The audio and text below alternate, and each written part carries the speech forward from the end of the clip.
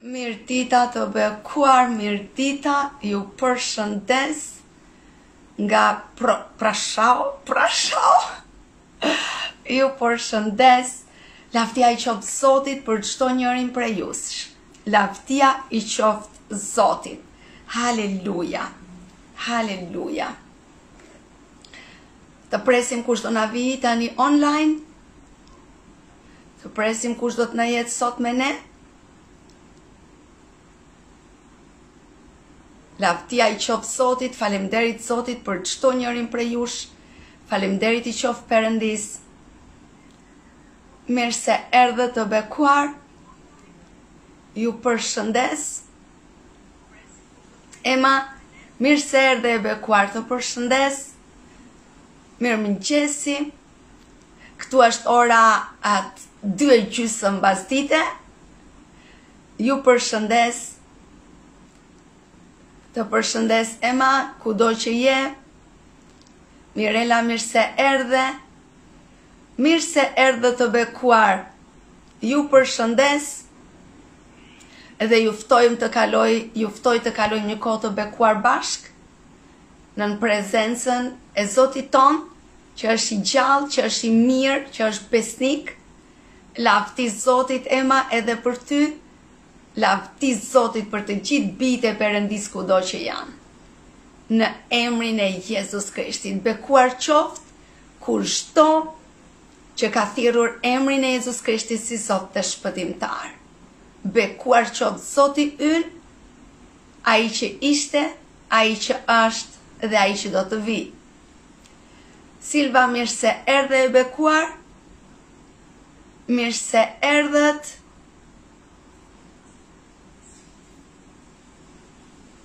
Mirë mëngjesi Mirë mëngjesi të bekuar mirë se erdhët Mirë se erdhët Gjithashtu, gjithashtu Margarita Zoti të bekoft Paqja dhe gëzimi i Zotit në ty dhe në çdo drejtim të jetës tënde. Neli përshëndetje mirë se erdhe. Lavdi Zotit për ty. Mirë se erdhe të bekuar. Të rregullojmë çik gjëra teknike.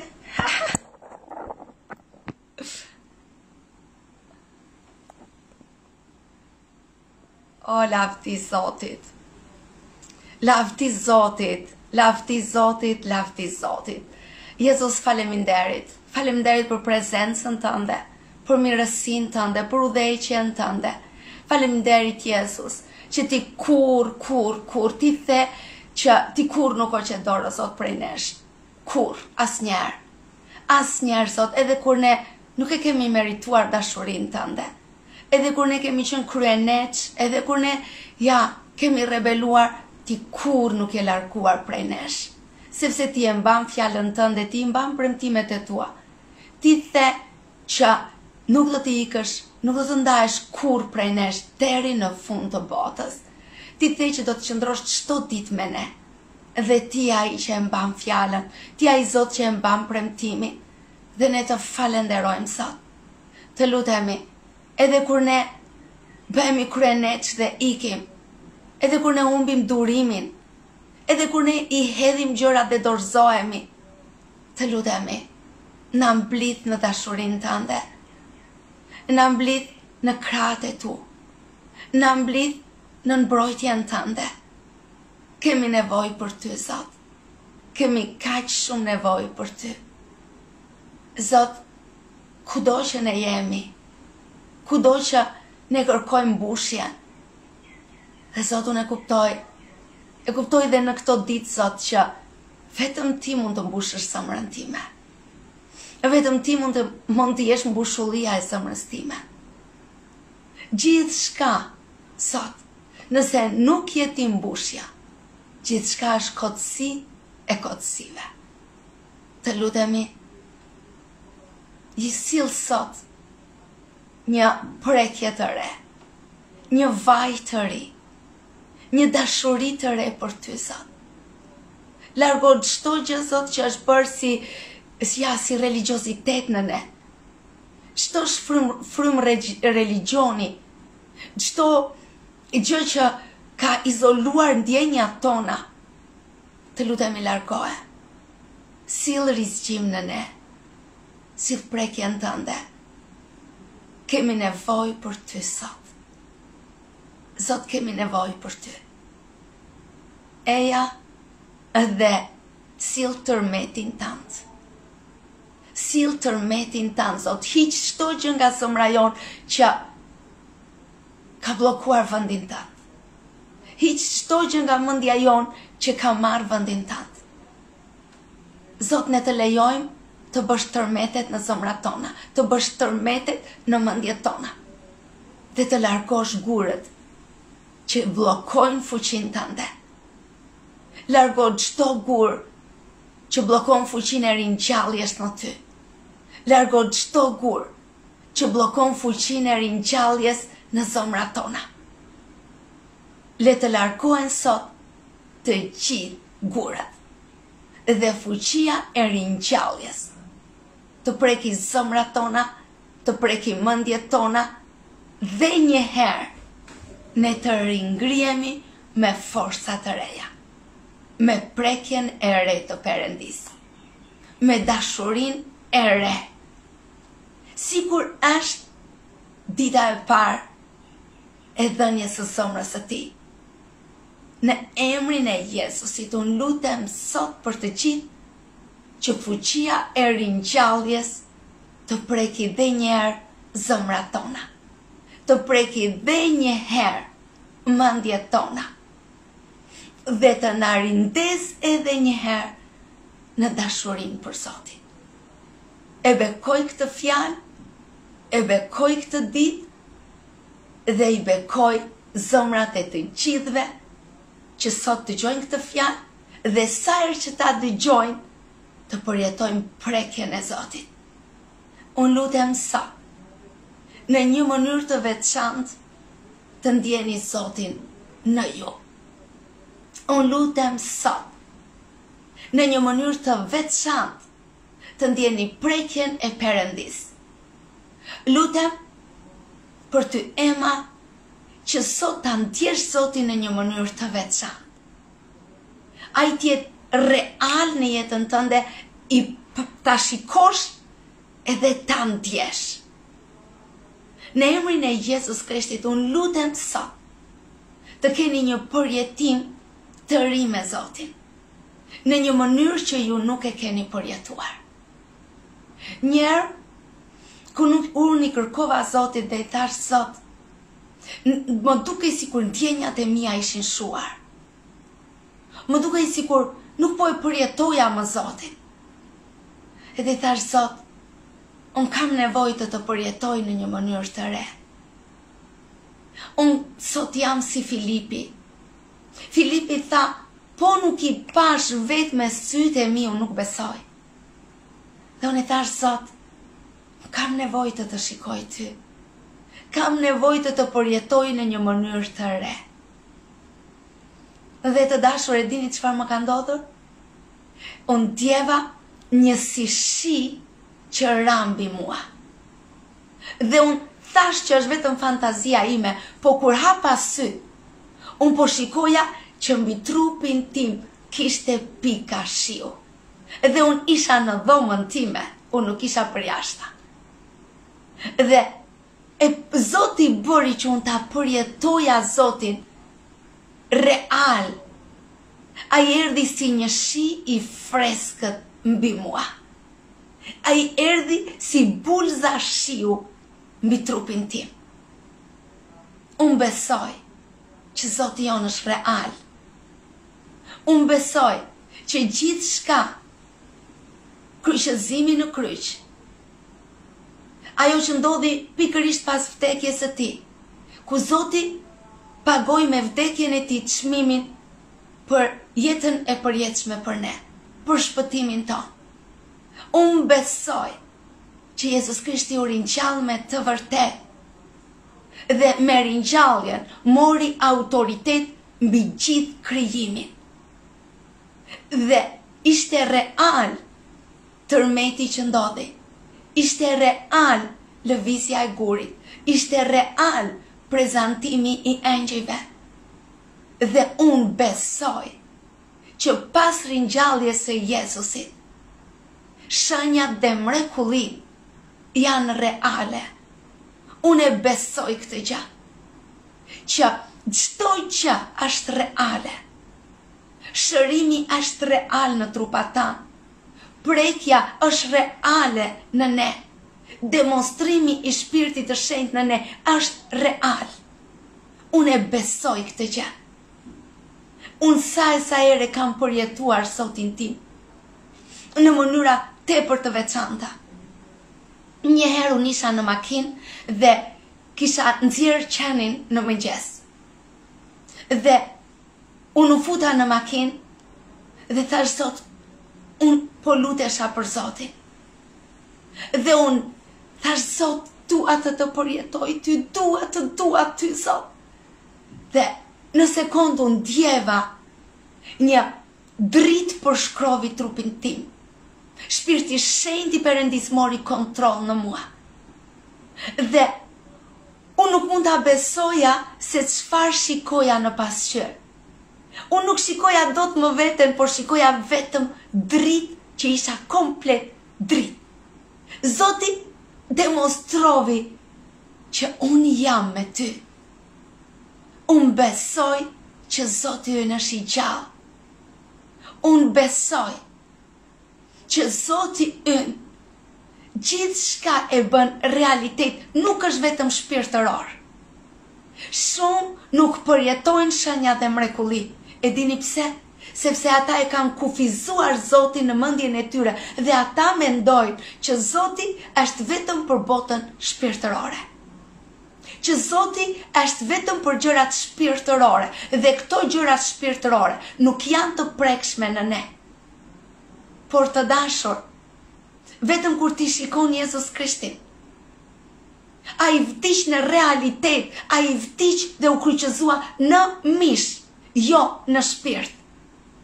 Djalli kërkon të izolojë këto të vërteta. Djalli kërkon t'u mbushi mendjen njerëzve që Krishti nuk u kryqëzua në trup, që Krishti nuk vdiq në trup dhe që Krishti nuk u ringjall në trup. Kështu ai kërkon që krishtërimi të izolohet dhe njerëzit të presin vetëm vdekjen. Vetëm atëherë kur vdesin të kenë gjëra. Ky nuk është krishtërimi. Ky është një krishtërim i vdekur, por kjo nuk na përket ne. Ne kemi një Zot të gjallë. Një Zot që u kryqëzua me të vërtetë në mish. Një Zot që u varros me të vërtetë dhe që u ringjall po me të vërtetë në trup. Dhe gjithçka që ndodhi ishte në këtë botë, tërmeti ndodhi këtu, engjëjt u shfaqën këtu, shenjat dhe mrekullitë u shfaqën këtu, dhe Zoti nëpërmjet ringjalljes së Tij, nëpërmjet ringjalljes së Jezus Krishtit, ne na është dhënë autoriteti për të marrë gjërat nga shpirti për t'i dhënë në realitet në mish. për t'i marrë në mishin tonë për të përjetuar këto në mishin e të tjerëve. Pra është realitet që gjithçka që Zoti arriti të mund të jetë i prekshëm për të gjithë ne, duke filluar që tani që ne jetojmë në mish. Çlirimi është për ne të gjithë që tani. Shërimi është për ne që tani. Të jetojmë të bekuar është premtimi i Perëndisë që tani. Ne nuk duhet të presim vdekjen për të qenë në përjetësi dhe atje të kemi shëndetin. Jo të dashur, ne kemi vdekur që këtu për mishin tonë. Që ditën që ne jemi pagëzuar unë dua që ti ta dish pse është kaq e rëndësishme pagëzimi në ujë. Unë dua që ti ta dish sa e rëndësishme është që ti të pagëzohesh në ujë. Të pagëzohesh në ujë, ti i plotëson të gjitha kushtet për të thënë unë kam vdekur tashmë. Unë u varrosa bashkë me Krishtin.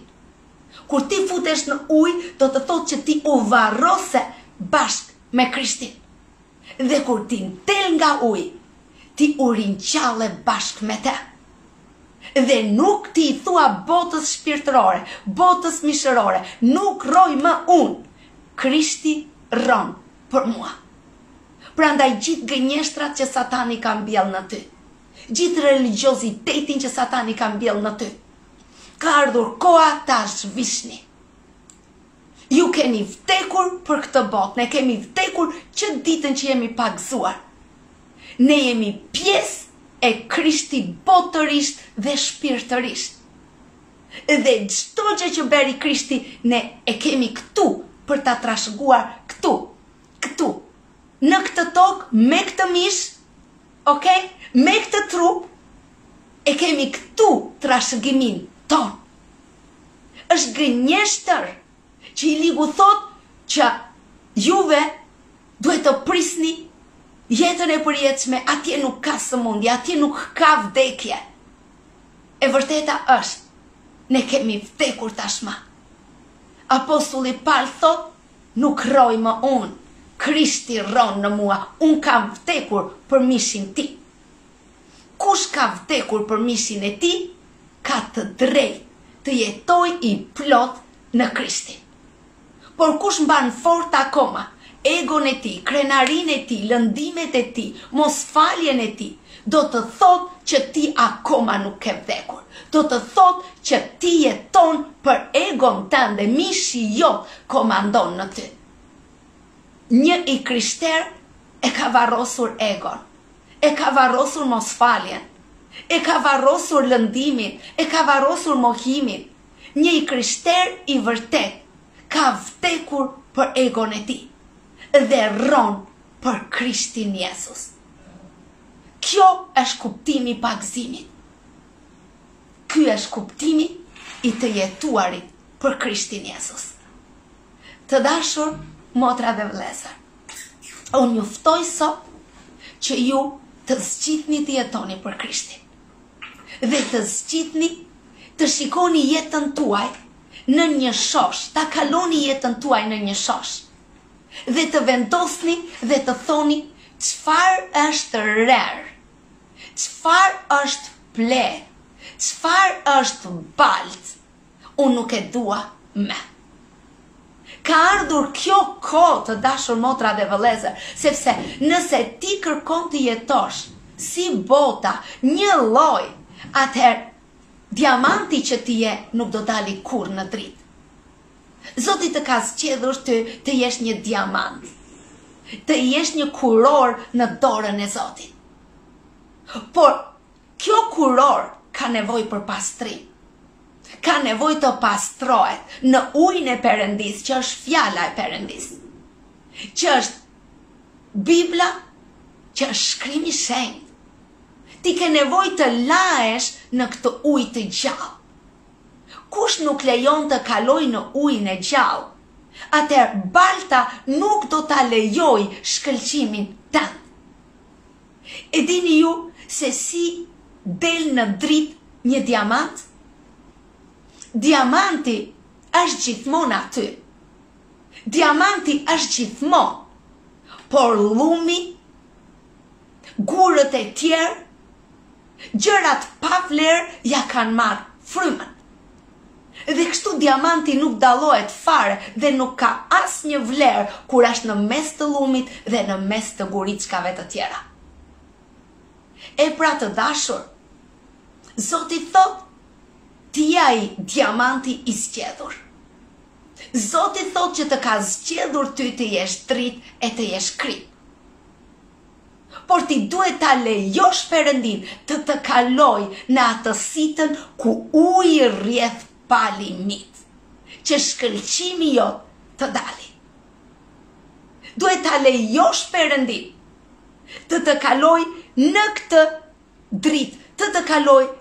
Në këtë ujë, të dashur motra dhe vëllezër, ka ardhur koha që të thuash Zot, nuk dua më asgjë që nuk më lejon të jem i bekuar.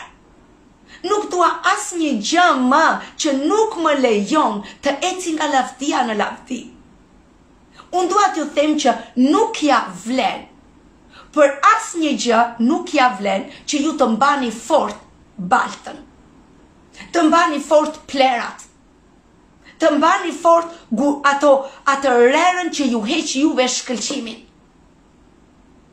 Të dashur ka ardhur koha të thoni zot nuk ia vlen për asnjë gjë që unë të mos jetoj për atë që ti më ke thirrur. Është në dorën tënde që t'i thuash Zotit, më hiq llumin. Largo nga jeta ime çdo gjë që më merr shkëlqimin. Ka njerëz të veçantë në jetën tënde. Ka njerëz që i sjell satani në jetën tënde pikërisht për të të izoluar ty. Ka njerëz që megjithëse ti e di që ata janë një llum për jetën tënde, megjithëse ti e di që sa herë takon këta njerëz, ata të shkatërrojnë ty, ata të demoralizojnë ty, ata të mbajnë ty nën kontrollin e ndjenjave të tyre, ata janë narcistë dhe të, të urdhërojnë ty, të mbajnë ty nën kontroll, të manipulojnë dhe ti je si një, si një viç E dini ju një viç vit atyre demave ë iu vënë nga një nga një ë unazë në hundë dhe i tërheqin ku duan. Kuajve iu vënë një fre në gojë dhe i tërheqin ku duan. Dhe ti megjithëse e di që këta njerëz të manipulojnë ty, këta njerëz të përdorin ty, këta për këta njerëz ti nuk ke asnjë vlerë përveçse një skllav. Ti i lejon këto gjëra në kurrizin tand. Ti i lejon këto gjëra. Pra të dashur ka ardhur koha të ti shkëputesh. Ka ardhur koha të shikosh veten tënde dhe të thuash për çfarë konkretisht unë rri nën shoqërinë e këtij personi. Për çfarë konkretisht unë rri në këtë punë kur unë ofendohem, kur unë kam nuk vlerësohem, kur unë marr kaq ofendime, kur unë marr kaq nënvlerësime, për çfarë rri unë akoma në këtë punë? Ok, nëse ti thua, unë rri në këtë punë sepse nuk gjej punë tjetër. Kjo është një gënjeshtër e satanit. Sepse i ligu të ka manipuluar kaq shumë mendjet sa ti e pranon skllavërinë në çdo drejtim të jetës tënde. Kështu ti fillon të pranosh që ti nuk ke vlerë. Ok? Kështu ti fillon të pranosh që ti nuk je e zonja, nuk je i zoti. Kështu ti fillon të pranosh që ti je një dështak. Kështu ti fillon të pranosh që ç'rëndësi ka unë nuk se sa di unë këtu ku jam unë nuk kam vlerë pra ti ke hequr komplet shkëlqimin të dashur motra dhe vëllezër unë dua t'ju them që ka ardhur koha të lani ka ardhur koha t'i thoni të ligut nuk bëj më asnjë kompromis me ty ka ardhur koha që ti të thuash stop më Në emrin e Jezus Krishtit stop më unë do ta lejoj sot të shkëputem nga gjithçka që më vjedh thirrjen time, që më vjedh planin e Perëndisë në jetën time. Sado e dhimbshme të jetë, më mirë një dhimbje të madhe, një operacion, që ndoshta dhimbja do vazhdojë tre ditë, sesa një plagë që çahet çdo ditë, një plagë që ka qelb çdo ditë dhe helmon çdo ditë jetën tënde. Ka ardhur koha t'i rrëmoni plagët tuaja. Ka ardhur koha të bëni operacione në jetët tuaja dhe të shikoni çfarë prodhon qelb në jetët tuaja. E dini, ka shumë njerëz në jetën tënde, që ata janë si një qelb, si një plagë e infektuar në jetën tënde. Dhe ti bot sipër sipër e trajton sipër e trajton sipër ti thua ok kur ta takoj herën tjetër do jetë ndryshe kur ta takoj herën tjetër do kemi biseda të ndryshme E, kur të vijë herën tjetër, s'ka gjë le të vijë në shpinë time, kur të vijë herën tjetër me siguri do jetë ndryshe, dhe kështu ti e hap derën e shpisë tënde gjithmonë e gjithmonë e gjithmonë dhe ai qelbi brenda gjithmonë do të helmojë jetën tënde. Dhe ajo e dini ju derisa kalon në helmim gjaku. Të dashur motra dhe vëllezër ka ardhur koha të kryeni operacione të thella. dhe të largoni çdo gjë që qelbëzon jetën tënde. Çdo gjë që i vjedh shkëlqimin jetës tënde. Çdo gjë që e mban në skllavëri jetën tënde. Perëndia ta ka dhënë ty të drejtën që të vendosësh t'i bësh këto operacione. Ok, Zoti të ka thënë, unë jam me ty kudo që ti je. Zoti të ka premtuar që ai të ka zgjedhur për të qenë një kurorë dhe për të qenë një diamant. Ok, për të qenë drita e tij. Zoti të ka zgjedhur për këtë.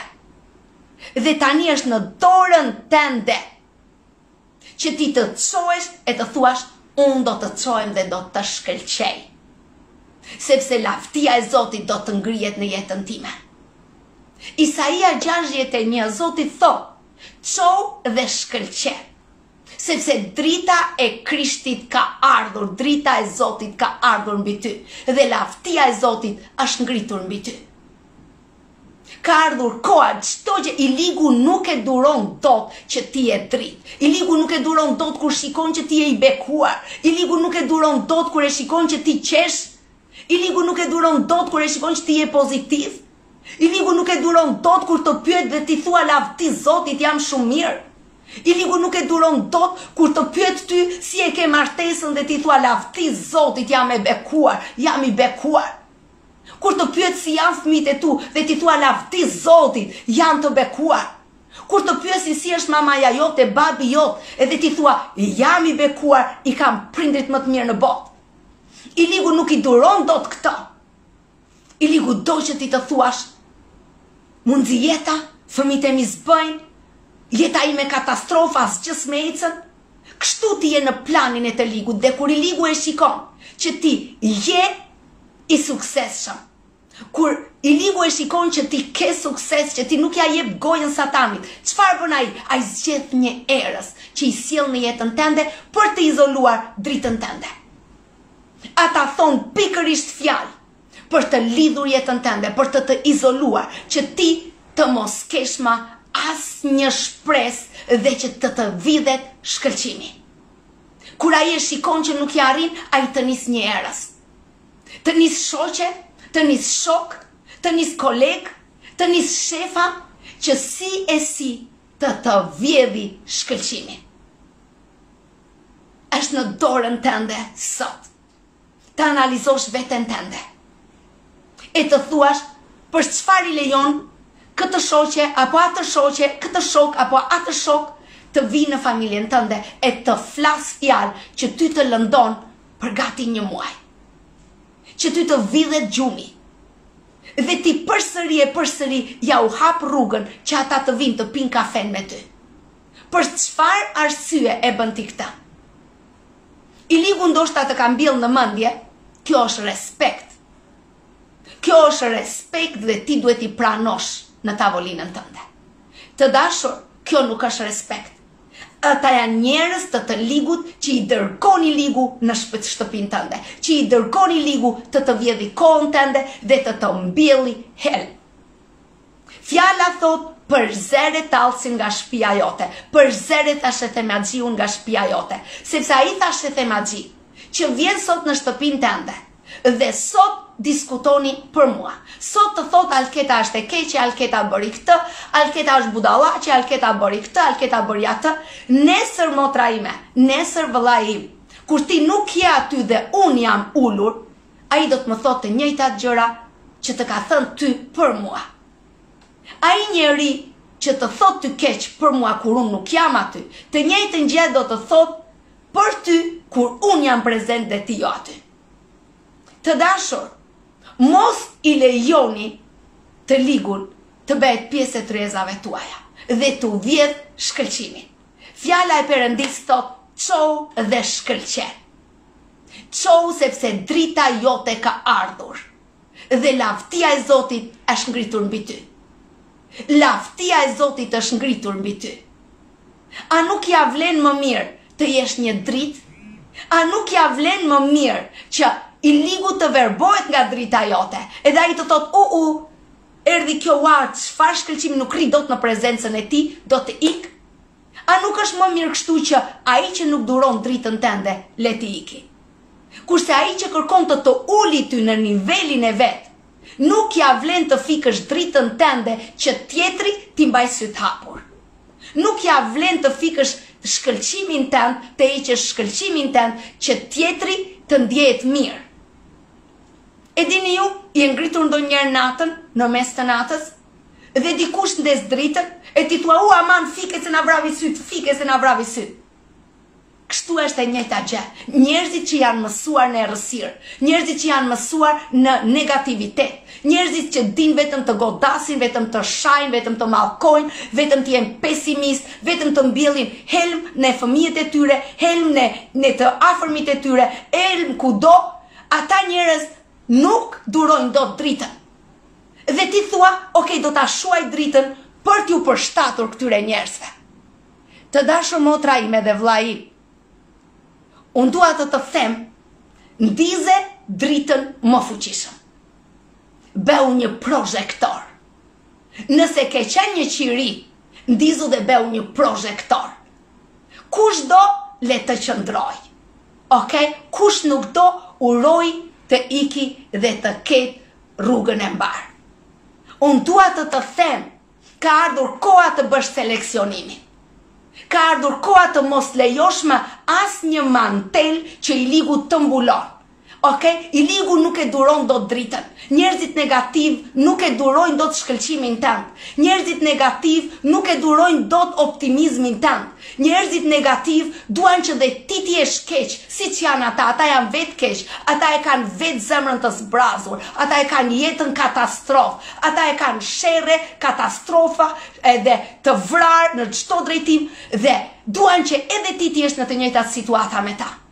Mos jua jep këtë kënaqësi. Mos jua jep këtë kënaqësi. Më mirë le të ikin këta njerëz nga jeta jote. Më mirë le të ikin. Lëri të ikin. Dhe ti shkëlqe. Të dashur, unë gjithmonë do të zgjedh të jem dritë. Unë gjithmonë do të zgjedh të qëndroj si një prozhektor. Unë gjithmonë do të zgjedh të jem një zjarr. E dini ju, zjarri nuk mund të mbulohet kurrë. Mbuloje me çfarë të duash, herët ose vonë, ai e përpin gjithçka që është mbuluar. Gjithçka. Zjarri më i fuqishëm shkrin dhe hekurin më të fuqishëm. Vendosni të qëndroni zjarr. Mos e shuani, mos e shuani dritën tuaj. Për asnjë arsye. Ka ardhur koha të qëndroni lart. Ka ardhur koha të qëndroni lart. Ka ardhur koha të thoni nuk i nënshtrohem më asnjë fryme pesimiste. Asnjë njeri që flet keq kundër meje, flet më shan mua, më godet mua. Unë kam vendosur mos të ulem në të njëjtin pozicion me të edhe të diskutoj se çfarë ai ka thënë për mua. Motra dhe vëllezër, ne jemi thirrur të qëndrojmë lart. Kur ne dëgjojmë që të tjerët merren me jetët tona, a e di ç'do të thotë kjo? Ti je i rëndësishëm. Ti je i rëndësishëm. Ti je dritë. Shumë nuk e kuptojnë këtë gjë dhe kur shikojnë që të tjerët po merren me jetët tuaja, thua ti, u kanë marrë një foto timen, e kanë vënë në Facebook, po tallen me mua, po tallen këtë, o nuk e duroj dot, unë kjo është shumë për mua, të dashur, unë po ju them ju, ju duhet të ndryshoni mënyrën e të menduarit. Ju duhet të ndryshoni mentalitetin tuaj. I ligu kërkon atje ku ka për të vjedhur. Atje ku nuk ka për të vjedhur, i ligu nuk do të shkojë kurrë. Ti je një thesar, prandaj ai merret me ty dhe kërkon të vjedhi. Ti je një dritë, i ligu t'i vriten sytë, prandaj kërkon të merret me jetën tënde. Nuk është stil të fshihesh. Nuk është stil të fikësh dritën. Nuk është kjo që Perëndia pret prej teje. Perëndia pret t'i japësh më shumë forcë. Perëndia pret ta ndezësh zjarrin më shumë. Perëndia pret që të gjithë kokat e gjithë statujave të ngritura e të gjithë uh, idhujve të ngritur e çdo gjëje që flet kundër teje të rrëzohet para teje dhe të bien dhe të digjen dhe të gjitha këto Digjen kur zjarri jot bëhet gjithmonë e më i fuqishëm. Nëse ti thua do ta mbyll dritën sepse kshtu të tjerët nuk i shqetësoj dhe kshtu të tjerët nuk merren me jetën time. Ti ke gabimin më të madh. Më të madh gabimi më i madh është kur ne e mbyllim dritën tonë dhe kërkojmë t'u përshtatemi njerëzve. Kërkojmë t'u përshtatemi situatave. Kjo do të thotë që satani fitoi mbi ty. Dhe ajo që ai bën, ai çon njerëz ta këputi komplet jetën tënde. Të vjedhi identitetin tënd, të vjedhi familjen tënde, të vjedhi gjithçka. Pse? Sepse ti vendose të biesh në nivelin e tyre. Ka ardhur koha të njihni zërat që flasin në jetën tuaj, të njihni shoqërinë që flet në jetët tuaja, të njihni njerëzit tuaj që flasin në keq në jetët tuaja.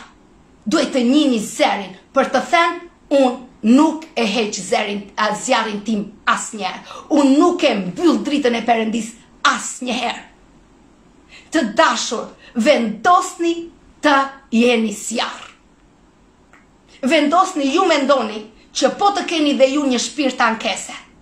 Kur fëmija jot të telefonon, kur uh, motra jote të telefonon, e të pyet Alketa si je, e unë i them, mos më keq asgjë,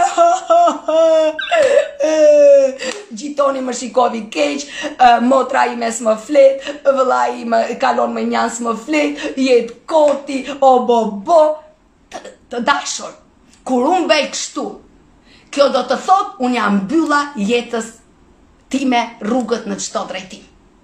Asnjë njeri nuk do një mama të tillë. Asnjë fëmijë nuk e do një mama që vetëm qahet, vetëm ankohet, vetëm Kjo fëmi kështu, ky s'më do, kjo s'më beri kështu, kjo kështu, xhaxhai kshu, hallua kështu, mos i fol këtij, mos i fol atij, oo në rininë time vëllai më ka goditur, mos i flisni dajos nuk është dajua i mirë, mos i flisni xhaxhait nuk është xhaxhai i mirë, do vijë një ditë këto nëna do të vdesin vetëm. Këto motra do të vdesin vetëm, asnjë njeri nuk do të qëndrojë me to. Kur ti vendos të jesh si bota me të njëjtin gjë dhe ti i dekurajon njerëzit që Zoti të ka dhënë në jetën tënde. Ti nuk e ngren kurrë me një fjalë të mirë burrin tënd, po sa vjen, sa pa që burri në shtëpi, ti qesh, këndon, je e lumtur, sa vjen burri me njerë ti i var turinjtë të pyet burri, si kalove moj grua, ti i thua, kot, Haa u lodha, tërë ditën pastrova, tërë ditën gatova, asnjeri s'i shikon punët e mia, mua më bie bretku tërë ditën, po juve nuk i vini re punët e mia, unë gatuaj a asnjë s'i kapi, unë jam skllav i kësaj shpie, bla bla bla bla bla, kur e vërteta është pesë orë ti ke ndejtur në telefon, pesë orë ti ke parë film, ke parë këtë edhe ke punuar dy orë, ok? Por edhe sikur të kesh punuar, Po ta them që asnjë njeri, as burri më i zë që të ka dashuruar ty në rininë tënde, po ta them unë do vijë një ditë nëse ti kalon në këtë pozicion, edhe ai do thotë aman se nuk vete dot në shpi se m'u nxi jeta. Unë njoh një njeri që e ka dashur nusen e tij kur është martuar me gjithë zemër. Edhe një ditë kur i thash, do ikësh në shpi? Bo, bo, tha ku të vete, më është nxirë jeta. Por pse të është nxirë jeta? Sa vete në shpi, tha gruaja ime ka një gjë. Mua më dhemb koka, vdiqa, o këtu, o këtu, o ç'më sëmbon këtu, o bo, bo, bo, bo, më sëmbon këtu, o bo, bo, qafa, qafa, o bo, kocka ime, nuk e drejtoj dot dorën, vdiqa nga dora, vdiqa, vdiqa jam keq, jam keq, Edhe tha nuk më vihet më në shpi. Më është mërzitur shtëpia. Që kur po bëjmë vite, sa vete jam sëmurë, vllai jot më tha kështu, mamaja jote më tha ashtu, mamaja jote më rrëzon, vëllain tënd s'e dua, ë shoqërin tënde s'e dua, ti ja, nuk punon, dynjaja blevi shtëpi, ne s'kemi bler shtëpi, të dashur motra dhe vëllezër. Ka ardhur koha e ndryshimit. Ka ardhur koha që ju duhet të ndryshoni karakterin tuaj. Zoti ka thënë, në shpirt ne i kemi të gjitha. Ok, në shpirt ne i kemi të gjitha, por karakteri jonë duhet të punohet. Ok, në shpirt ne jemi të përkryer. Por të gjithë ne na është besuar një karakter. Ky karakter ka ardhur si edukata e mamasë tënde, e babait tënd, e kushurinjve të tu. Gjithë shkolla ka influencën e vet, shoqëria ka influencën e vet. Pra ka ardhur koha që ju të, të ndryshoni karakterin. Ka ardhur koha që ju të ndryshoni karakterin tuaj. Ok, nëse ti deri dje ke qenë një qaramane, një ankesaxheshë, një gjithmonë që fëmijët e tu të telefononin ti ah, s'mundem, oh, ja. Ka ardhur koha të dashur të ndryshoni karakterin tuaj. Që ju t'i bëni njerëzit tuaj që të vinë sepse ju jeni dritë. Ok, edhe ju burra të dashur, Ë, edhe ju burra të dashur, që ju deri dje e keni dashur gruan tuaj. Ok? Dhe pastaj filloni kaloni gjithë kohën në shoqëri, gjithë kohën me qefet tuaja, gjithë kohën për të pirë, për të shikuar qefet tuaja, edhe pastaj doni thjesht një grua në shpi që t'i bëjë gjitha dhe ju asnjë gjë mos të bani. Ok, por e dini çfarë? Por juve ju mungojnë dhe fjalët. Ju nuk dini të thoni një fjalë të mirë për nusen tuaj. Ju nuk dini ta merrni një herë në krah e t'i thoni nuses të lumshin duart moj grua, që ti ke gatuar kaq shumë, që ti u lodhe gjithë ditën në punë, erdhe në shpi edhe gatove. Falenderoj Zotin që më ka dhënë një grua kështu si ty. Kurse ju, çfarë bëni? Ju shikoni vetëm interesat tuaja, ju nuk nuk merrni përsipër të ndryshoni. Ju nuk merrni përsipër të bëni dhe pjesën tuaj. Dhe atë që pret një grua, e dini çfarë është? Dashuria dhe fjalë të ëmbla. E dinit, unë shikoj marrëdhënien me burrin tim. Kur ai më thot fjalë të ëmbla, kur ai më thot një fjalë të ëmbël që më ngren më ngren krahët. Mua nuk më duket asnjë gjë ta bëj punën, t'i bëj gjërat, sepse unë inkurajohem nga fjalët e tija, kur më thotë një fjalë të mirë. Kur ai nuk më thotë, unë nuk kam dëshirë për asnjë gjë. Ok, pra të dashur, të gjitha gjërat janë pjesë që ne duhet t'i ndryshojmë. Si burrat dhe gratë, të gjithë ne ne jetojmë në një ambient ku na është dhënë një herë kjo jetë. Na është dhënë një herë mundësia për të bërë më të mirën. Na është dhënë një herë mundësia për të qenë dritë. Por, nëse unë dua të jem dritë. Por të dashur, shtëpia nuk ka vetëm një dhomë. Ne kemi disa dhoma. Kështu që, nëse në një jam unë, në dhomën tjetër le të jetë burri drita e shpisë. Në dhomën e fëmijëve le të jenë vetë fëmijët dritë. Pra Zoti na i jep mundësitë që ne të jemi të gjithë drita për të shkëlqyer. Dhe kjo është një vendim i joni. Është një vendim i joni që ne themi unë do të shkëlqej. Dhe çfarë është më e mira? Të vendosësh do të shkëlqej apo të thuash ok, vetëm do të ankohem jetë koti nuk ia dal ta themun që nëse ti vendos të shuash dritën, Një ditë do të jesh i braktisur nga të gjithë. Vendosni sot të thoni Zot, unë do të mbaj dritën ndezur. Unë do ta ndryshoj karakterin tim. Shumë njerëz thonë, ne shqiptarët sidomos e kemi si parull, ky jam unë. Unë ky jam, unë nuk ndryshoj. Unë nuk ndryshoj, ky jam unë. E pra unë po ju them, Nuk është e vërtetë. Të gjithë ne ndryshojmë. Të gjithë ne kemi ndryshuar, shikoje veten tënde, sa e sa gjëra ti i ke ndryshuar. Për hir të njeriut që ti do, ti ke ndryshuar shumë gjëra. Për hir të fëmijëve të tu, sa e sa gjëra ti i ke ndryshuar. Sa e sa gjëra unë thosha që fëmijët e mi unë nuk do t'i lejoj kurrë. Sa e sa gjëra unë thosha që kurrë fëmijët e mi unë nuk i lejoj. Unë nuk i rrit si gjermanët, unë do t'i rrit si dua unë, si ne shqiptarët. Të dashur, ja ku jam unë.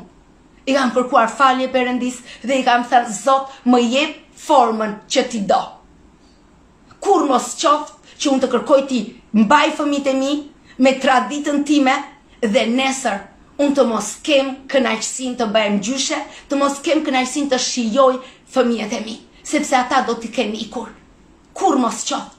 Thashë Zot Më mëso ti të marr formën. Më mëso ti më jep ti formën që ti do që unë të kem për t'iu përshtatur fëmijëve të mi, për të ditur si t'i edukoj ata si do ti Zot. Jo si jam rritur unë. Unë jam rritur me dru. Unë jam rritur me të goditur. Goditja në kohën tonë ishte normale. T'i bëje shenja fëmijës tënd në fytyrë nga gjitha anët nga goditjet ishte normale.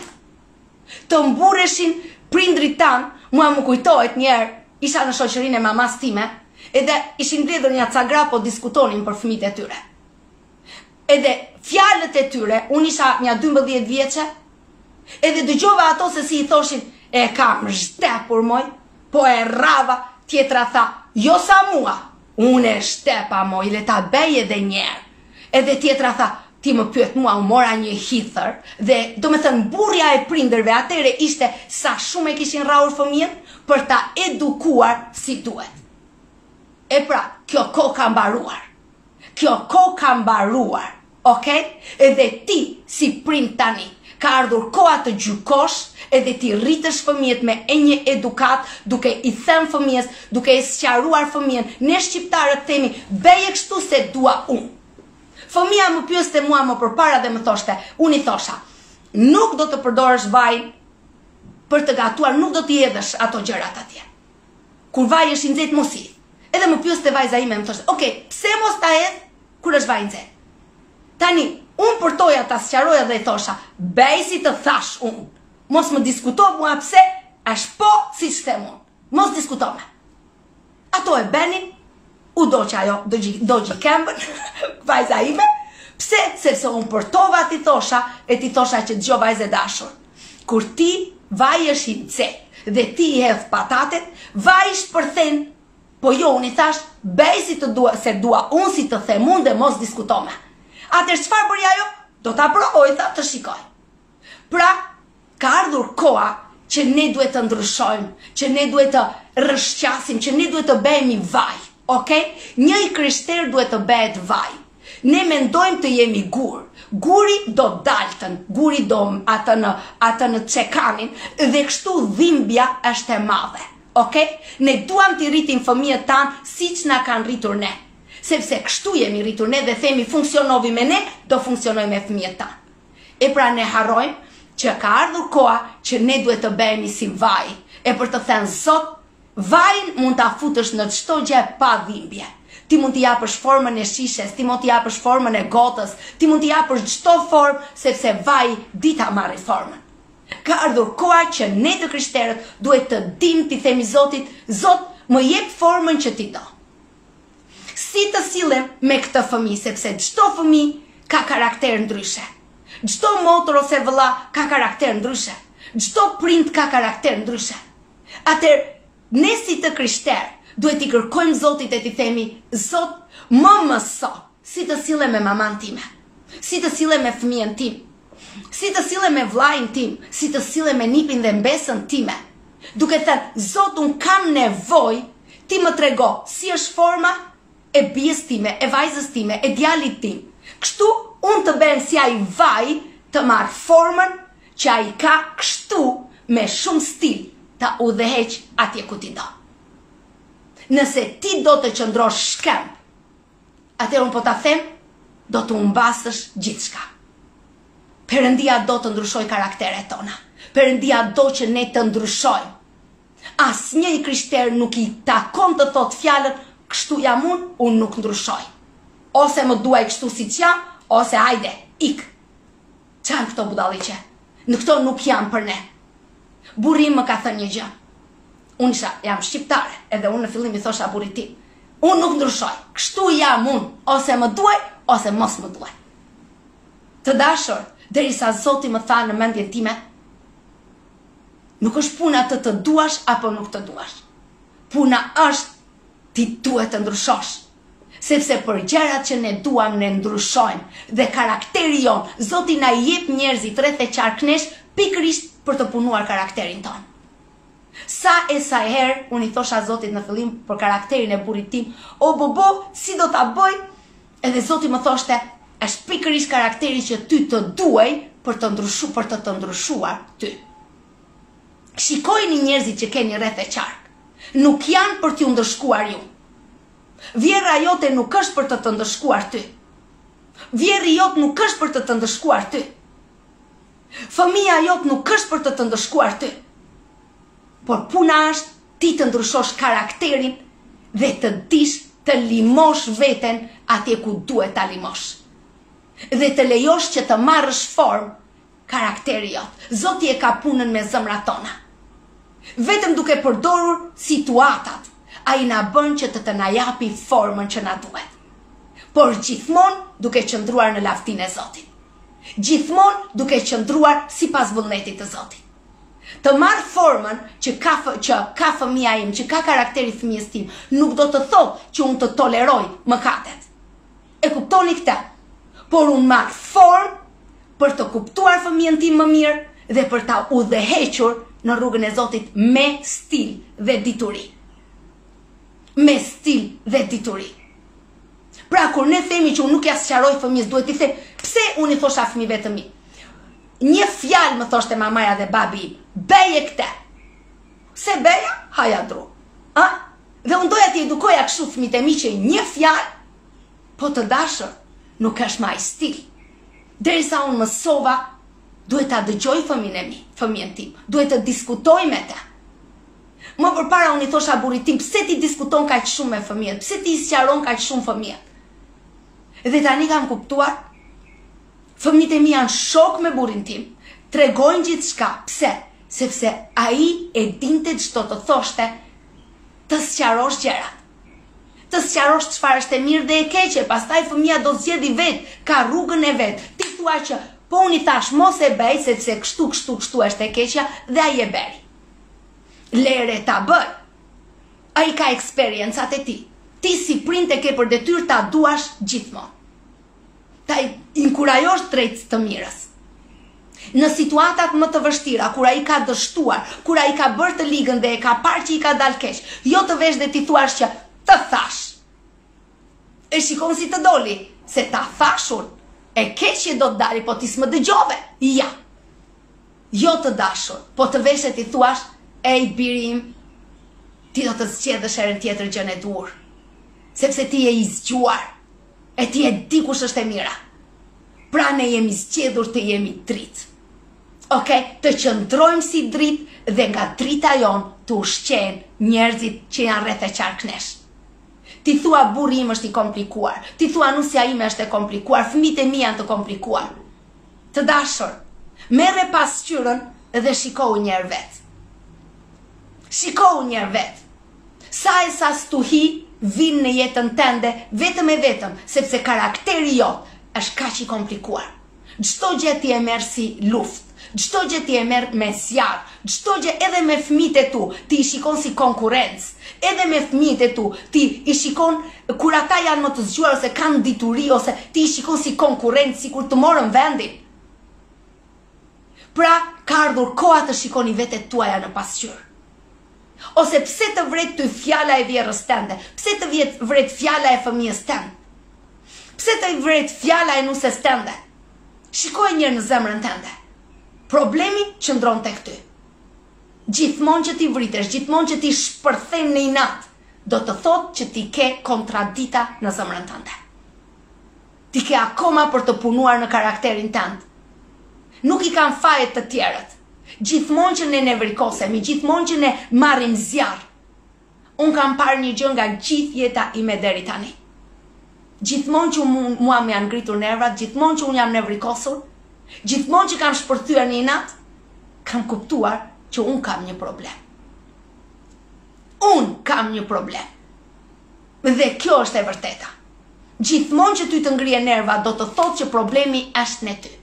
Dhe ti nuk ke vdekur për atë gjë. Nuk ke vdekur për egon tënde. Pse të vret ty kur njerëzit flasin keq për ty? Konkretisht, Pse mendon ti do vras veten sepse njerëzit kanë marrë një foto time dhe e kanë vënë në Facebook, e kanë vënë në TikTok, edhe po flasin keq për mua, ata po thonë kjo është e përdalë, kjo s'ka uh, uh, moral, kjo është uh, ku di unë se çfarë, edhe thua ti do vras veten tani. A është problemi i atyre që po tallen me ty apo është problemi jot? Është problemi jot. Më vjen keq që po ta them, por është problemi jot. Sepse ti pret që njerëzit të të shohin ty se sa e mirë ti je, që të të shohin ty se sa vlerë ti ke, se sa i zgjuar ti je. Ti pret nga bota. Dhe nëse ti pret nga bota, atëherë gjithmonë ti do të kesh njerëz që do të luftojnë për ty. Do të shajnë ty, do të ofendojnë ty, sepse djalli e di, kështu ai ka të drejtë të vjedhë jetën tënde. Kështu ai ka të drejtë të vjedhë misionin tënd. Motra dhe vëllezërit e mi, një njeri që e ka vendosur të jetë dritë për Krishtin, një njeri që e ka vendosur do të jetoj për Zotin. Kur njerëzit merren me jetën tënde, qesh, ki mëshirë për ta dhe thuaj Zot, Është shumë pak. Më ngri në lavdi të reja. Nëse po merren pesë njerëz me jetën time, le të merren një milion veta. Nëse po merren një milion veta, Zot më ngri më lart, le të merret gjithë interneti dhe gjithçka le të merren me jetën time. Le të merren me jetën time. Kjo do të thotë që zemra jote e përballon famën, e përballon suksesin. Një njeri që nuk di të eci kur shahet, ai kurrë nuk di të eci kur luftohet. Zoti ju sjell stuhira në jetët tuaja, nganjëherë Zoti i lejon për t'u marrë në provë. Nganjëherë Zoti i lejon stuhitë për të shikuar si do të reagosh, do të zbresësh nga anija apo do të qëndrosh në anije. Do ta fikësh dritën tënde apo do ta ndezësh e do të thuash Zot, nuk merrem fare me ata që më urrejnë, sepse nuk kam kohë të merrem me ta, do ta harxhoj kohën time për ata që më duan dhe për të të shërbyer ty, për të qenë dritë edhe më shumë. Kush nuk di të eci në sharje, në ofendime, në rrëzime, në goditje? Kush nuk di të eci në këtë situatë? Ti i ke humbur shanset për t'u ngritur në lavdi. Ti i ke humbur shanset për të qenë i suksesshëm. Të dashur, gjithmonë vijnë stuhitë përpara se të vijë suksesi. Gjithmonë do të vijnë stuhi që të të detyrojnë të zbresësh nga anija. Djalli do që ti do të zbresësh nga anija, kështu ti të tërhiqesh. Por nëse ti vendos, Jetoj për Krishtin, drita ime nuk do shuhet kurrë, kështu që le të flasin, faleminderit Zot që ka njerëz po merren me jetën time, prandaj Dhe Zoti thotë e kalove me sukses, do të ngrej më shumë në lavdi. Edhe njëherë unë po e them, kush nuk mëson të ruaj zemrën e vet kur shahet? Kush nuk e mëson të ruaj zemrën e vet kur ofendohet? Kush nuk mëson të ketë mëshirë për ata që godasin jetën tënde? Nuk je i kualifikuar për t'u ngritur në lavdi. Nuk je. Njerëzit që Zoti zgjedh për t'i ngritur në lavdi janë gjithmonë ata që goditen, ata që shahen, ata që ofendohen dhe ata dinë të ruajnë dritën ndezur. Nëse ti nuk di ta ruash dritën ndezur kur shahesh, kur ofendohesh, kur të tallin, atëherë të dashur ti nuk je i kualifikuar Që Zoti të të japi sukses, sepse zemra jote nuk e mban dot suksesin. Edhe njëherë unë po të them. Bo të çoj tani pak të lutem tek Marku. Një sekond tek Marku. Më vjen në mendje tani Marku 4. E dini ju, të gjithë apostujt tek Marku 4 rreshti 35 hypën në anije me Jezus Krishtin. Jezus Krishti tha, Ne do të shkojmë në anën tjetër. Pra Zoti vuri një qëllim dhe iu tha apostujve, ne do të shkojmë në anën tjetër. Çfarë ndodh në mes të natës? Çfarë ndodh në mes të ditës, në mes të detit? Fillojnë stuhitë. Stuhi e madhe filloi. Kaq shumë stuhi e madhe sa apostujt patën frikë. Dhe ata zgjuan Zotin dhe i tha Zot, Ti fle, a nuk e shikon se ne po mbytemi? Ata nuk kishin parasysh që Zoti tha ne do të shkojmë në anën tjetër. Shumë prej nesh nuk e dinë që Zoti ka një plan për ty. Zoti kur të zgjodhi ty, Ai të thirri me emër, ti thua jam rastësisht live tani këtu. Rastësisht u gjenda live këtu. Nuk ka rastësi. Ti je këtu tamam sepse Zoti donte që ti të ishe live tani këtu. Sepse Zoti donte që ti të dëgjoje këtë fjalë. Nuk është rastësi. Asgjë nuk është rastësi. Atëherë pse nuk ishe ti diku tjetër? Ok? Por ti je tani live këtu sepse Zoti donte dhe do që ti të jesh live pikërisht tani për të dëgjuar këto fjalë. Pra atëherë Zoti ju tha atyre, ne do të shkojmë në anën tjetër. Dhe ai fjeti i qetë. Por stuhitë filluan. Çfarë bënë apostujt? Ata patën frikë. Ata menduan do të kthehemi mbrapa, sepse është një stuhi e madhe. Të dashur, stuhitë vinë gjithmonë para suksesit tënd. Goditjet vinë gjithmonë para suksesit tënd. Sharjet vinë gjithmonë para suksesit tënd. Paditë vin gjithmon para suksesit tënd. Sharjet, thashethemet, rrëzimet, intrigat vin gjithmon para suksesit tënd. Kije këtë në mendje. Gjithmon në mendjen tënde kur e shikon që njerëzit po merren me jetën tënde, që njerëzit po po godasin jetën tënde. Un po ju tregoj para pak muajsh mua më nxorën tek Stopi. Stopi nuk e di tani si quhej një stopa nuk e di tani se si quhej një televizion duke u marrë me jetën time edhe në atë kohë unë do isha live pesë minuta më vonë mamaja ime më telefonon edhe më thotë moj vajzë a e pe veten tënde moj se të nxorën në Stopi edhe u bëre e famshme bija ime kush nuk të njef ty tani edhe unë i them mamas time moj mama po me siguri unë nuk e dija unë nuk e kisha parë akoma Thashë mama, ku më kanë, unë s'e kam idenë çfarë televizionesh ka në Shqipëri, unë po bëj 25 vjet që jetoj në Gjermani, dhe nuk kam ndjekur asnjë televizion që kur unë kam ardhur këtu. Zoti është dëshmitar, as edhe një. Kështu, mamaja ime më thotë mua, po të kanë nxjerrë tani u bëre e famshme moj vajzë, Zoti e bëri të famshëm emrin e tij. Dhe unë i thashë më fal moj mama, po nuk më, asnjë unë jam vetë gazetare. Ok me profesionin tim. Dhe i thash dëgjo moj mama, asnjë njeri nuk të nxjerr në televizion për një gjë të mirë. Me siguri janë tallur me jetën time. Prandaj i thash mos e vra mendjen. Dhe mamaja ime, që Zoti i ka dhënë kaq shumë zgjuarsi, kaq shumë dituri, kaq shumë pjekuri që ia vlen ta telefonosh edhe ajo të ngre zemrën, nuk ka qenë kështu. Më përpara, kur ne, unë e telefonoja mamanë time, dinte vetëm, oh, më dhemb këtu, më dhemb aty, oh, jetë koti, më pak kështu, që kur i ka dhënë zemrën Zotit, ajo ka transformuar jetën e saj, ajo është bërë bekim për të gjithë ne fëmijët e saj. Dhe ajo më thot mua, dëgjo moj vajzë, me të tallur apo me të vërtetë. Zoti emrin e Tij do ta madhështojë dhe çdo gjë Ai do ta kthejë për lavdinë e emrit të Tij.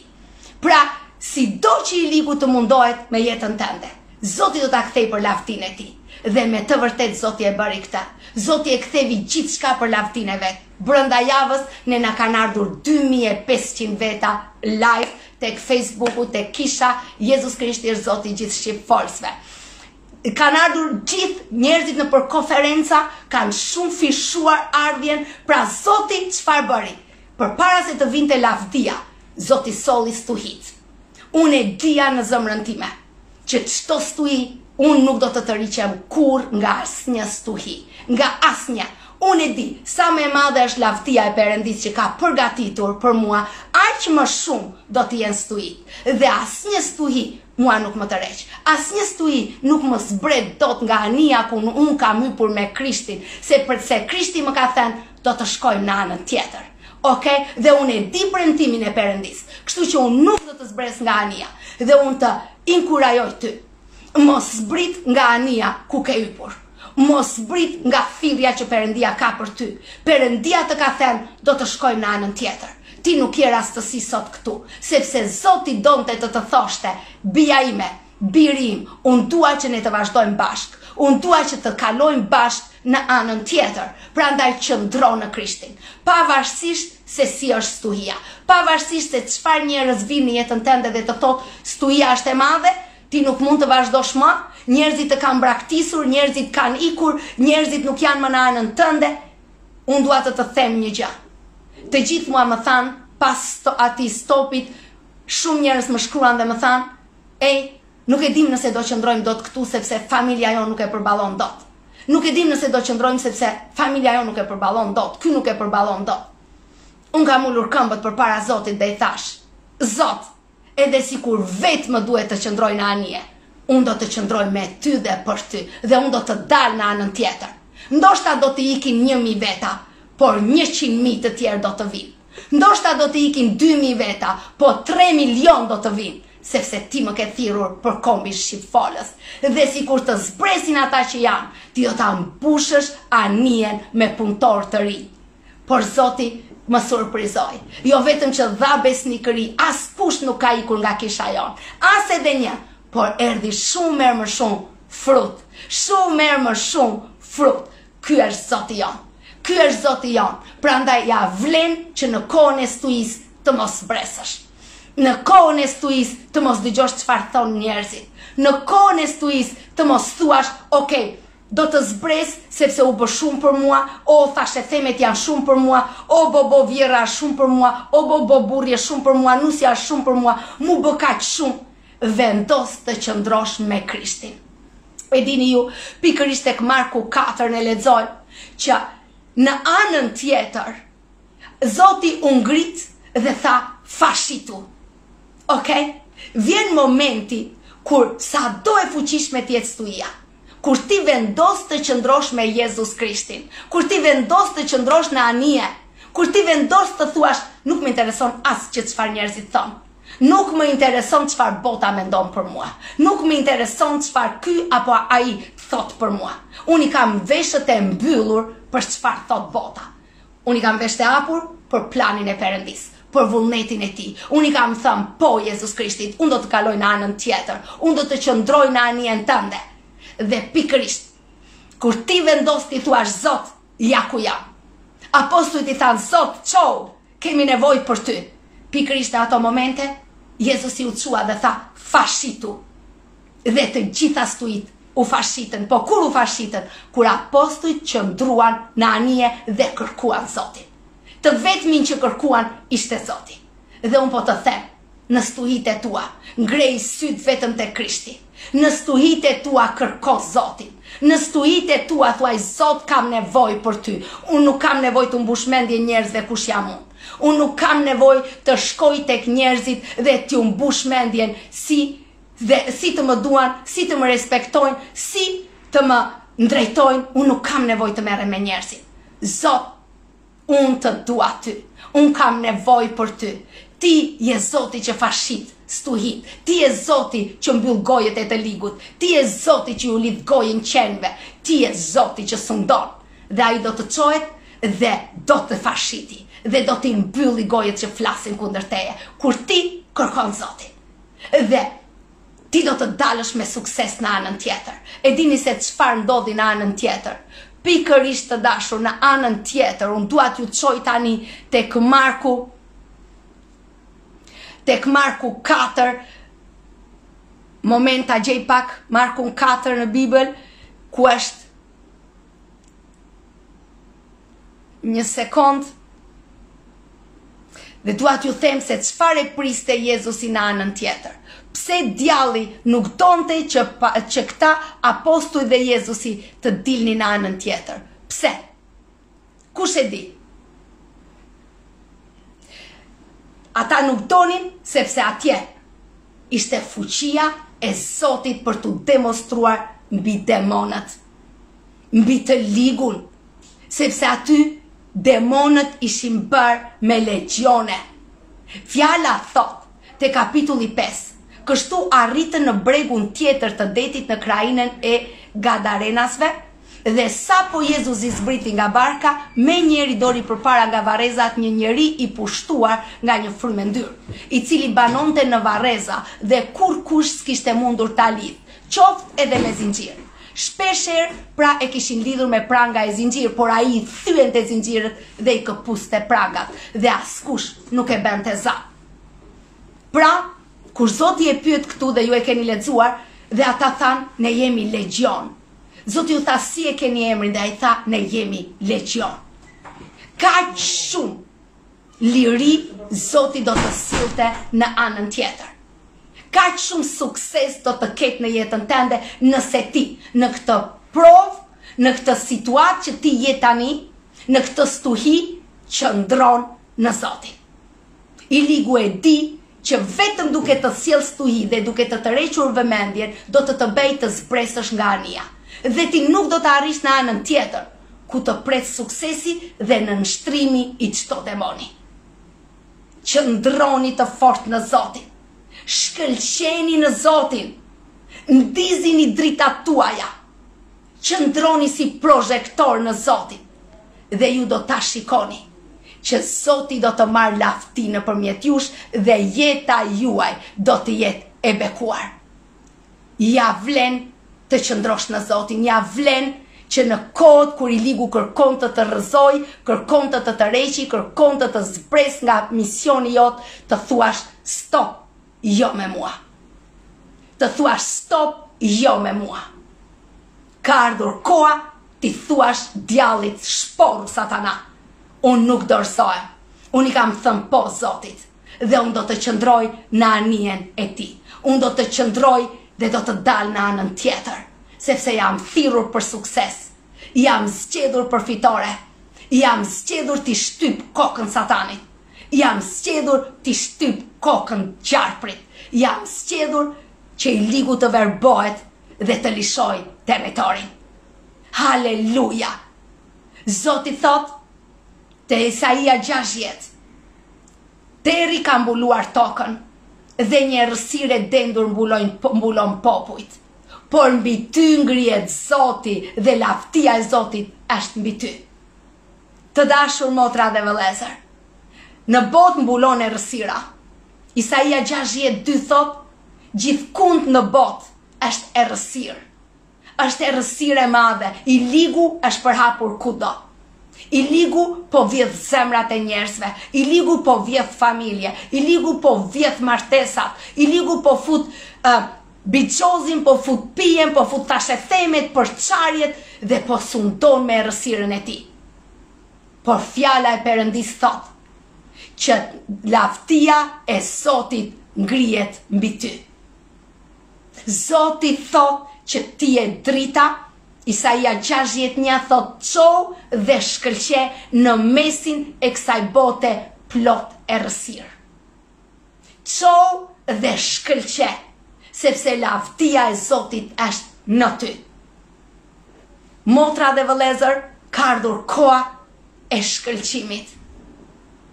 Ka ardhur koha e ndezjes së lavdisë së Zotit mbi ju. Ka ardhur koha e qëndrimit në Zotin. Ka ardhur koha e qëndrimit në anijen ku Krishti të ka thirrur. Që të kalosh në anën tjetër. Ka ardhur koha të ndryshoni karakteret tuaja. Ka ardhur koha Të vdisni për egon tuaj, të vdisni për dhimbjen tuaj, të vdisni për krenarinë, për thashethemet, për njerëzit që i ligu e di pikën tënde të dobët. Nëse pika jote e dobët është nderi, atëherë pikërisht i ligu do të sulmojë aty, duke hapur thashetheme që nuk je i ndershëm, që bën budallëqe, që gjithmonë ku është pika jote e dobët. Të dashur, le të jetë pika jote e dobët për të shkëlqyer për Krishtin, për të qenë lavdia e Zotit në ty. Le të jetë pika jote e dobët t'i pëlqesh Zotit. Le të jetë pika jote e dobët të jesh dritë dhe kripë për këtë botë. Bota është mbuluar nga errësira, por fjala thotë lavdia e Zotit do të ngrihet mbi ty. Çou dhe shkëlqe! Çou dhe hiq plehrat nga jeta jote. Lejoje Zotin të të lajë. Lejoje Zotin të largojë çdo njeri që të vjedh shkëlqimin. Çdo fjalë që i ligu përdor dhe ty të prek, thuaj mua s'më prek më, sepse fjala e Perëndisë është identiteti im. Fjala e Perëndisë është jeta ime. Zgjedhja ime i përket Zotit, jeta ime i përket Zotit dhe unë nuk rroj më për egon time, nuk rroj më për asgjë të kësaj bote. Unë rroj për Krishtin. Jetoni për Zotin. Ja vlen, ja vlen që në mesin e errësirës të ndizni dritat tuaja. Ja vlen që në mesin e errësirës të shpallni jetoj për Krishtin dhe jam dritë dhe krip. Askush Nuk mund të shuajë zjarrin tim. Askush nuk mund të mbulojë zjarrin tim, sepse unë jam zjarr për Krishtin dhe përvëloj gjithçka. Dhe gjithmonë do të shkëlqej dhe të gjithë altarët e ngritur kundër mesh, kundër meje, do të bien poshtë këmbëve të mia. Sepse Zoti më ka thirrur për t'u ngritur nga lavdia në lavdi, dhe çdo altar që flet kundër meje, çdo thashethem, çdo magji, çdo mallkim, çdo njeri i mbledhur në komplot kundër meje, Zoti do ta bëjë të jenë stol për këmbët e mia, dhe unë do të ngrihem nga lavdia në lavdi, sepse kam zgjedhur të jetoj dritë për Krishtin. Sa më e madhe të jetë prova, aq më shumë është shkalla për t'u ngritur në lavdi. Shikojini provat që ju jeni duke kaluar. Shikojini stuhitë që jeni duke kaluar. Nganjëherë Zoti i përdor stuhitë për të të çuar sa më shpejt në destinacion. Mësoni që në mesin e stuhive Të ngrini velat e anijes tuaj dhe ta përdorni stuhinë në favorin tuaj. Për të mësuar si përdoren në favorin tuaj, është vetëm një sekret. Vetëm një sekret i vetëm. Qëndroni në Jezus Krishtin. Qëndroni në thirrjen tuaj. Qëndroni në identitetin në Zotin. Ndryshoni karakteret tuaja. Jep bëuni vaj dhe që të merrni formën që Zoti do. Mësoni që stuhitë t'i përdorni në favorin tuaj. Mos u ankoni, por çdo stuhi thotë apostulli Pal, jam i gëzuar në prova, thotë apostulli Pal. Pse gëzoheshin ata shumë kur kishin prova? Sepse ata e dinin Pas çdo prove vjen ajo ngritja e suksesshme. Pas çdo prove lavdia është e njëqindfishtë. Sekreti i vetëm është qëndroni në Zotin dhe mos e fikni dritën tuaj. Mos u ktheni për të bërë kompromise. Mos e fikni dritën tuaj. Po thuaj ka inat gjitoni që unë shkëlqej? Atëherë do të shkëlqej më shumë. Ka inat kolegu që drita ime shkëlqen? Do të shkëlqej akoma më shumë. S'i pëlqen, le të iki. Qëndroni t'i pëlqeni Zotit. Edhe ju do të ngriheni nga lavdia në lavdi, sepse për këtë jeni zgjedhur. Për këtë jeni thirrur. Ju dua me dashurinë e Zotit dhe ju bekoj. Unë lutem sot tani për ju, për çdo zëmër që është tani live. Në emrin e Jezus Krishtit, unë lutem tani, pikërisht tani, që zëmra jote të nxjerri jashtë çdo gjë, çdo spiun që fik dritën. Çdo gjë që është futur me vjedhje në zemrën tënde, çdo gjë që kërkon të vjedhë misionin tënd, çdo gjë që ti i ke dhënë vend më shumë se Zotit, të largohet tani nga zëmra jote. Të largohet tani nga mendja jote në emrin e Jezusit. Dhe unë shpall sot që ti je zgjedhur për të qenë drita e Krishtit, ti je zgjedhur për të shkuar nga lavdia në lavdi, ti je zgjedhur për të arritur në destinacion, në emrin e Jezusit, ti je zgjedhur që asnjë zgjyrë të mos qëndrojë në ty, Ti je zgjedhur të jesh një kurorë në dorën e Perëndisë, dhe askush dhe asgjë dhe asnjë nuk mund të të heqë nga dora e Perëndisë. Dhe u shpall një karakter sot, një karakter të perëndishëm, që ju dini të ruani bekimet, ju dini të mblidhni bekimet dhe ju dini të shkëlqeni dhe të Çoni dritën e Krishtit në mesin e çdo errësire. Në emrin e Jezus Krishtit, unë ju bekoj ju në emrin e Jezusit. Unë ju bekoj ju kudo që jeni. Në emrin e Jezusit, amen. Të dashur, mos harroni, ne vazhdojmë agjërimin deri në datën 15 prill. Të gjithë ne jemi në agjërimin 24 orë. Unë e kam shumë shumë të vështirë këtu në Tajlandë kur shikoj se sa shumë fruta ka këtu o bo bo të të zë koka kur shikon gjithë ato fruta. Edhe thashë o Zot pse duhet të isha me agjërim tani kur unë kam gjithë këto fruta këtu. Por të dashur, sa më e madhe është prova, aq më e madhe është fitorja. Dhe kjo më jep guxim në zemrën time. Kjo më jep trimëri në zemrën time. Dhe kjo më jep forcë dhe rezistencë. Pra në datën 15 pril, deri në datën 15 pril. Ne jemi në agjërim 22 orësh, pra orën ti e zgjedh vetë. Ti e zgjedh vetë orën, unë në tre ditët e para këtu në në Tajlandë bëra mëngjesin, por pastaj u ktheva përsëri në orën katër dhe jam në orën katër edhe këtu, domethënë njëzet e dy orë, nga ora katër deri në orën katër të ditës tjetër dhe pastaj dy orë pushim për të ngrënë, për të pirë, lejohet vetëm ujë dhe një kafe në mëngjes dhe të jemi në këtë agjërim konkretisht për shpëtimin e popullit tonë, të familjarëve tanë dhe që Zoti të thyejë të gjitha barrierat që na mbajnë peng dhe ne nuk jetojmë në bekimin e Perëndisë. Dhe çdo gjë kur ne futemi në kështu, futemi në anije me Krishtin, Lufta është e madhe, për mua në këto momente është lufta shumë e madhe, kur unë shikoj frutat që unë, unë për ato fruta kisha ardhur, dhe tani duhet të them, o, oh, nuk janë, nuk janë, nuk janë, sot duhet të pres orën 4, po pastaj orën 4 nuk e di ça të ha më parë. dhe unë ju inkurajoj të bëheni pjesë e këtij agjërimi. Agjëroni për njerëzit tuaj, agjëroni për familjet tuaja, agjëroni çdo gjë është e mundur. Kjo agjërimi është një shpatë tjetër lutjeje për të marrë gjërat që i ligu ka bllokuar unë ju bekoj të dashur paqja e perëndisë në ju gëzimi i perëndisë në ju dhe nëse do zoti do do të futem nesër nesër jam në udhëtim ne nesër shkojmë në Bangkok pra Nuk e di sa e gjatë është rruga. Do mundohem të futem live në të njëjtën orë ndërmjet orës nëntë dhe dhjetë të mëngjesit.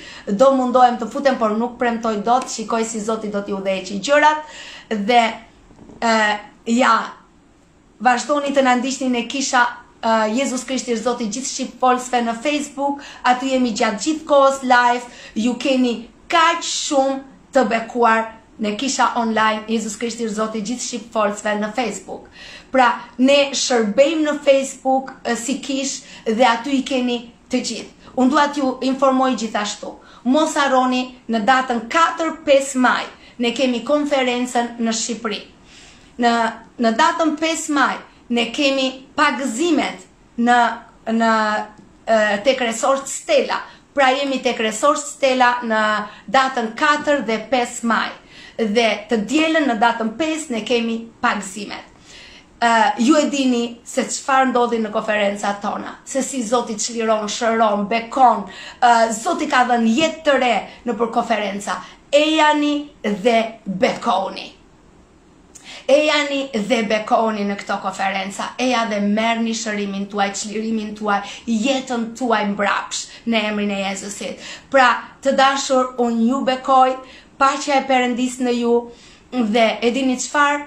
Mos harroni, çdo armik i joni, çdo mallkim që i ligu nxjerr nga goja. Të dashur, unë dua t'ju them një gjë. Verini këmbën ngjituni lart. Sepse Zoti thotë, Kushdo që hap një gropë për ty, kushdo që thotë një mallkim për ty, ato do të jenë mbi kokën e atij që thotë. Në një kohë rekord. Në një kohë rekord. Prandaj unë po jua them, vini këmbën dhe ngjituni më lart. Dhe lereni Zotin të realizojë fjalën e vet. Mirupafshim, unë ju dua shumë, Zoti ju do akoma më shumë. Mos harroni të më abononi, mos harroni të më bëni like, mos harroni, kështu sa herë që jam live, ju mund të merrni këto mesazhe jetëndryshuese, këto mesazhe që askush nuk i jep, këto mesazhe jetëndryshuese. Qëndro dhe më ndiq, sepse Zoti më ka zgjedhur, Zoti më ka vajosur për këto kohë, pikërisht për zemrën tënde. që ti të shkosh nga lavdia në lavdi dhe që ti të jesh një apostull i Krishtit dhe t'i shërbesh Atij. Haleluja! Zoti ju bekoftë! Mirupafshim, ju përshëndes edhe një herë nga Prosha, Prashau e Tajlandës. Këtu është temperatura 37 gradë. Më duket, ta ta shikojmë çik. T'i verifikojmë gjërat, t'i verifikojmë çik, prisni çik.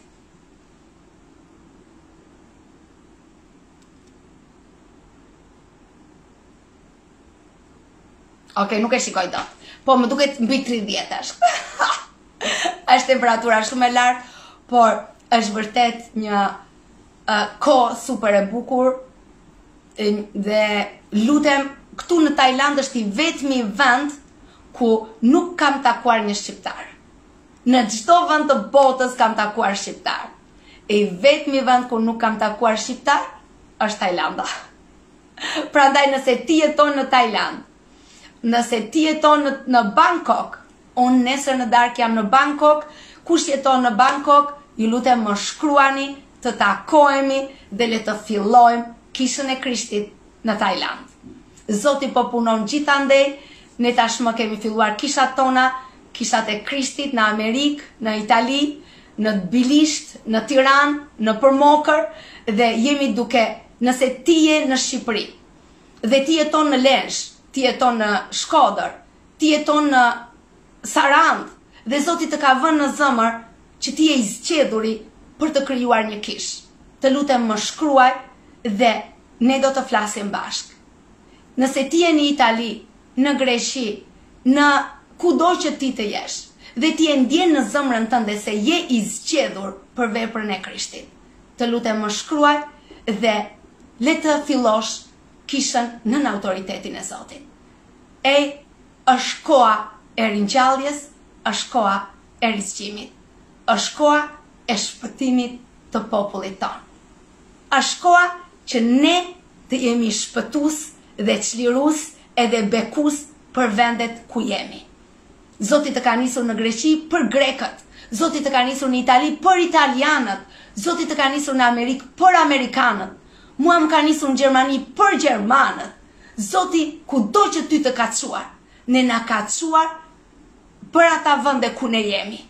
Thjesht ndrysho mentalitetin tënd, mos thuaj jam për shqiptarët, jam për shqiptarët, të gjithë bashkë jemi për shqiptarët. Ok? Po në radhë të parë ne jemi për vendet ku Zoti na ka çuar.